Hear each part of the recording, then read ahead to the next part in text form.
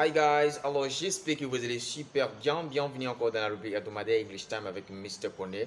Aujourd'hui, nous allons attaquer un point très important en anglais. Mais avant tout, je vais raconter une petite histoire.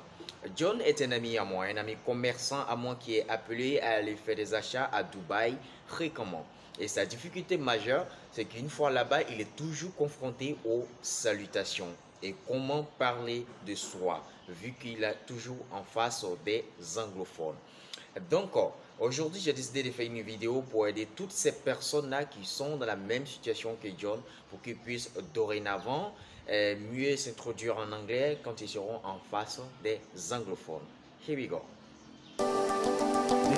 Alors aujourd'hui, nous avons deux interrogations. Comment saluer en anglais et comment répondre aux salutations? Donc c'est très simple. Tout comme en français, il y a aussi des manières de saluer en anglais selon des intervalles de temps. C'est-à-dire, la salutation dépend de l'intervalle de temps dans lequel nous nous trouvons. Donc, c'est très simple. En français, quand on dit bonjour, c'est dans la matinée. On pourra dire aussi bonjour dans la soirée, c'est-à-dire dans l'après-midi, n'est-ce pas? Et en anglais aussi, c'est pareil. Mais l'anglais, tout est spécifique. On a des intervalles de temps c'est-à-dire dans la matinée, l'intervalle minuit-midi, c'est-à-dire dans la matinée, l'intervalle minuit-midi, c'est good morning. Donc, je prends un exemple très simple. Good morning, John. Et que doit répondre John?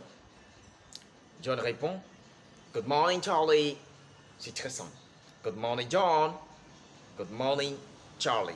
This is very simple. Ce qui veut dire bonjour, John. Et John répond Bonjour Charlie. C'est très simple. Et dans la soirée, c'est-à-dire dans l'après-midi, l'intervalle midi jusqu'au coucher du soleil, c'est good afternoon. Good afternoon John.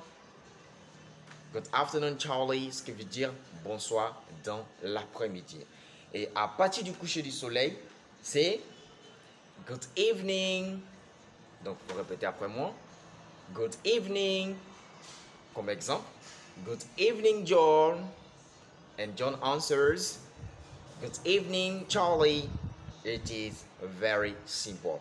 Et en plus de cela, il y a aussi des expressions familières qu'on utilise entre amis ou entre frères et sœurs. Tout comme euh, en français, vous convenez avec moi que quand on dit salut à une personne, et le mot salut, je veux dire, l'expression salut n'est pas fait pour des personnes qu'on respecte en réalité. Donc, ce sont des expressions familières, comme je l'ai su signifier, utilisées entre amis, frères ou sœurs. It's very simple. And those expressions are hello, hi, ou bien hey. Donc, hello, hi, hey. Donc, on peut dire simplement hi John, hello John, hey Charlie. Et c'est très simple, tu vas lui répondre de la même manière en disant Hello John, Hi John, Hey John. This is very simple. J'espère que vous avez bien pris note et j'espère aussi que la prochaine fois vous serez capable de bien saluer en anglais. Et je crois que euh, dans, la, dans la vidéo prochaine, nous allons attaquer maintenant euh, comment parler de soi et comment, euh, je veux dire, euh, répondre aux différentes questions qui sont fréquemment posées quand on se rencontre pour la première fois. Thank you so much for being with me and I really hope to see you next time.